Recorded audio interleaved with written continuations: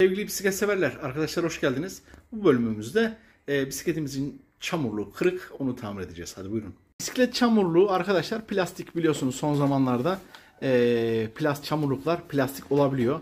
Ve son zamanlardaki fiyat artışıyla birlikte de artık bunları e, at yenisini al dönemi e, en azından e, böyle bilinçli tüketiciler için e, önemli ve e, bütçesi kısıtlı olan e, tüketiciler için önemli. Şimdi biz ne yapacağız?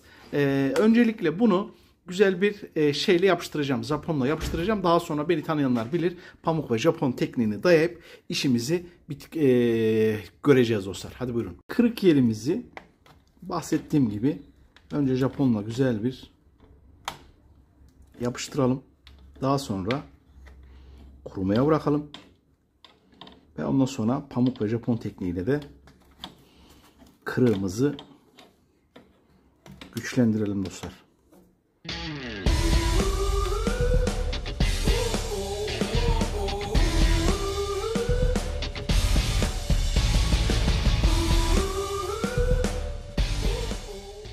Maalesef e, Japonla yapıştıramadım çünkü çünkü yapışmama sebebi e, malzeme kasıntılı e, çalışıyor. Dolayısıyla e, hemen bıraktığımda tekrardan yerine e, eski kırık halini alıyor. Dolayısıyla bakın iki birleşen yerine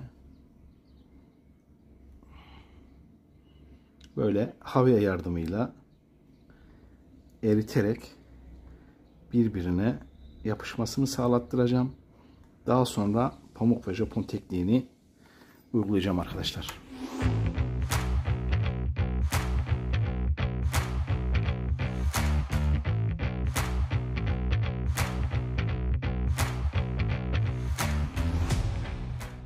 Şimdi pamuk ve Japon tekniğini rahatlıkla uygulayabiliriz arkadaşlar.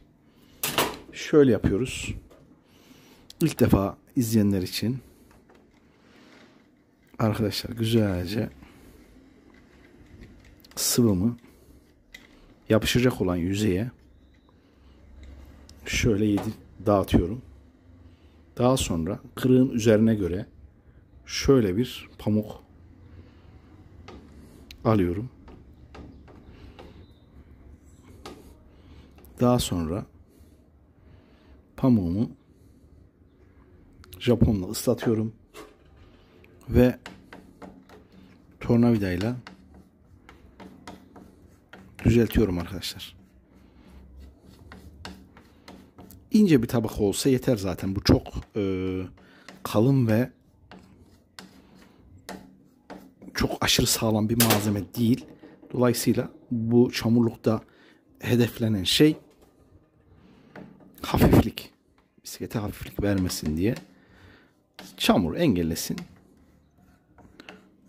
Yeter diye planlanmış bir ürün. Şimdi bak güzelce burayı yaptık mı böyle ince bir tabak halinde. Güzelce düzelttik yeter.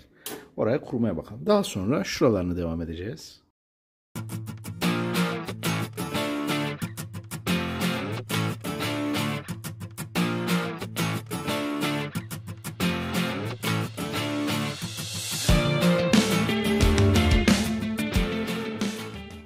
Şekilde güzelce kırını tamir ettik.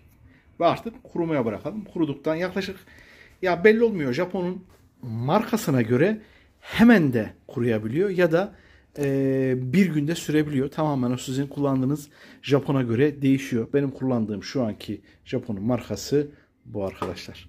Evet kurusun ve e, montajını yapalım. Evet bakın bu şekilde oldu. E, bunun kuruma süresi maalesef Japon'un e, Japon'a göre değişiyor. Ya mesela bu ürün şu anda hemen e, kurumuş mu şöyle bakalım bir.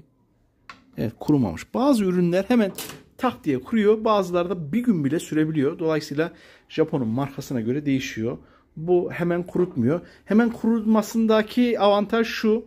Düzeltme yapabilir şey hemen kurum kuruyan da düzeltme yaptırmıyor size. Ama biraz geç kuruyan da e, bunda ise düzelttirme yapıp daha düzgün bir işçilik çıkarabiliyorsunuz. Bu ürün zımparalanıp üzeri boyana e, bilen bir ürün. Dolayısıyla E, gerekirse e, üzerine zımpara yapıp da boya da uygulayabilirsiniz. Birazcık şöyle bir e, dursun bakalım. E, bunun çok uzun sürecek mi? Ona bir bakalım. Birazdan döneceğim. Bakın arkadaşlar artık arka tarafı bu şekilde e, görüntüye sahip. Arka tarafına gerekirse şuradan e, bir polyo yapıştırabilirsiniz. Böyle güzel bir sticker yapıştırabilirsiniz. Yani sağlamlık anlamında problemi yok. Estetiksel anlamda da arka taraftan e, değişik bir uygulama, sticker, ona benzer malzeme yaptığınız zaman artık çamurluğunuz e, e, tekrardan size hizmet edecektir. Bakın kemik gibi de dondu. Artık rahatlıkla, gönül rahatlığıyla e, çamurluğunuzu tekrardan kullanabilirsiniz arkadaşlar.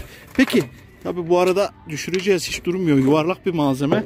Ee, böylelikle de bir çalışmamızın daha sonuna gelmiş olduk. Bir sonraki çalışmada buluşmak ümidiyle kanalımıza beğenip abone olmayı, sosyal mecralarda paylaşmayı ihmal etmeyin. Allah'a emanet olun, hoşçakalın dostlar.